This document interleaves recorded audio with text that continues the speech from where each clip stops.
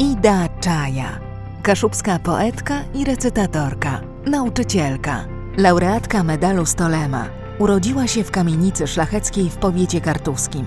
W rodzinnym domu mówiła po kaszubsku. Języka uczyła się od ukochanej babci, potem od nauczycieli, którzy przygotowywali ją do konkursów recytatorskich Rodny Młewa. Jako poetka zadebiutowała w 1990 roku w kaszubskim czasopiśmie Tatcie Zna. Pierwszy własny tomik wierszy Moim młylką je kam wydała w 1994 roku.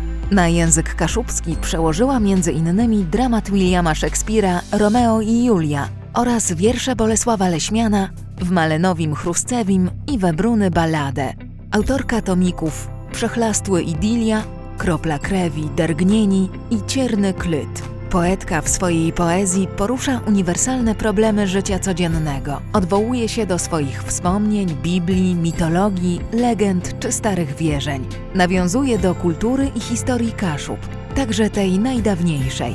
Jej wiersze charakteryzuje emocjonalny język bogaty w metafory. Z łatwością wykorzystuje potencjał języka kaszubskiego, potrafiąc w oszczędnej formie przekazać najgłębsze treści oraz wzbudzić u czytelnika bogactwo skojarzeń.